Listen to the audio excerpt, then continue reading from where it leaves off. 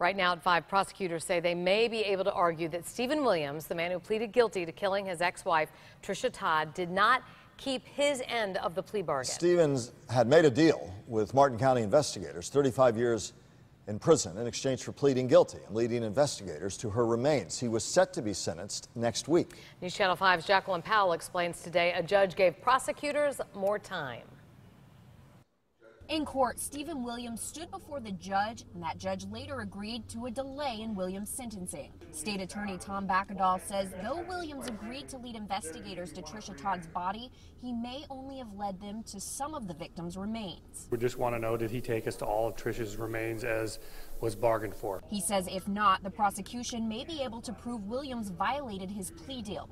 Investigators say when Williams told them where to search at Hungryland Preserve, he didn't tell them the whole story. From the very beginning, when we were there and we, and we disinterred her remains, there was a real question as to whether or not we had her body, or did we just have a portion of her body. Now, the state attorney's office says a forensic anthropologist from Florida Gulf Coast University will work with the county's medical examiner and the military to determine whether all of the remains were in the tub of acid they found or if there may be other still undiscovered remains elsewhere. Martin County Sheriff William Snyder says investigators won't rest until they know they've recovered everything they can in this case. It gives the family comfort to know that they have their remains.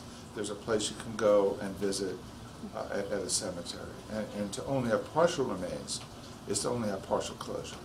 Williams' public defender argued the language of the plea deal only said Williams had to lead investigators to Todd's remains, not that he had to lead them to all of her remains. He says his client kept his end of the deal. Williams scheduled to be in court again September 30th.